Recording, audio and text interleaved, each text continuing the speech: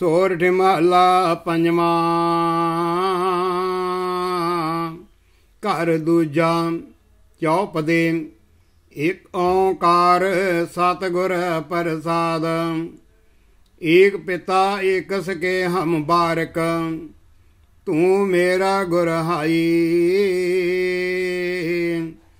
ਸੁਣ ਮੀਤਾ, ਜਿਉ ਹਮਾਰਾ ਬਲ ਬਲ ਜਾਸੀ।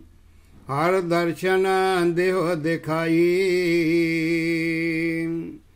ਸੁਣ ਮੀਤਾ ਧੂਰੀ ਕੋ ਬਲ ਜਾਈ, ਇਹੋ ਮਨ ਤੇਰਾ ਭਾਈ ਰਹਾਉ।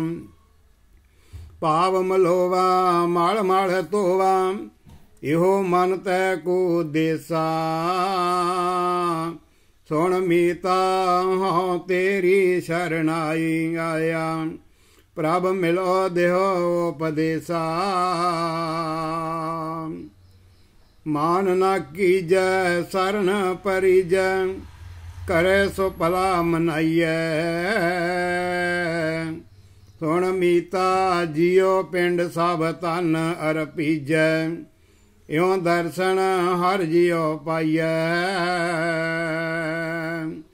ਭਇਓ ਅਨੁਗ੍ਰਹ, ਪ੍ਰਸਾਦ ਸੰਤਨ ਕੈ ਹਰ ਨਾਮਾ ਹੈ ਮੀਠਾ। ਜਨ ਨਾਨਕੋ ਗੁਰ ਕਿਰਪਾ ਤਾਰੀ ਸਭ ਅਕੁਲ ਨਰੰਜਣ ਡੀਠਾ। ਭਇਓ ਅਨੁਗ੍ਰਹ ਪ੍ਰਸਾਦ ਸੰਤਨ ਕੈ, ਹਰ ਨਾਮਾ ਹੈ ਮੀਠਾ।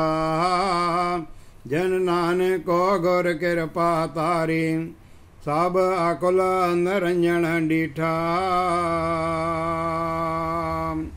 ਵਾਹਿਗੁਰੂ ਜੀ ਕਾ ਖਾਲਸਾ ਵਾਹਿਗੁਰੂ ਜੀ ਕੀ ਫਤਿਹ।